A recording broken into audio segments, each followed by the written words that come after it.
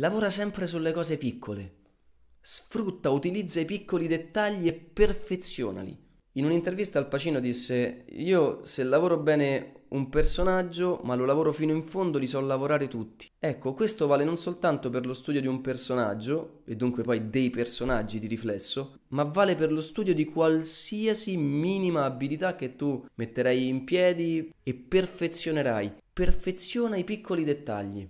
Parti da una cosa che sai fare, poi parti da una cosa che sai fare peggio, ma perfezionala. Curati del dettaglio. Saper fare una scena in cui bevi un caffè non è così semplice, eh? perché occorre avere la voglia di prendere quel caffè. Quel caffè potrei prenderlo perché ne ho bisogno, fisiologico, di caffeina, devo svegliarmi, oppure posso prendermelo perché è un modo per stare insieme ad altri, oppure posso prendere, pensa alla serie Friends, dove ne berranno centinaia di caffè. È un modo per stare con gli amici, è un modo di dialogare, è un modo di giocare insieme ad altri, è un modo per stare insieme. Per cui dietro un piccolo dettaglio poi si nascondono anche dei mondi emotivi. Lavora sul piccolo, piccolissimo dettaglio. Non guardare la cima, tu lo sai che vuoi arrivare lassù, però non preoccupartene, tu lavora su, sul dettaglio. Non cercarti la grande emozione, la scena di più difficile, cerca cose piccole, lavora da quello parti con i piccoli mattoni e costruisci l'intero edificio. Ma prima parti dalle cose piccole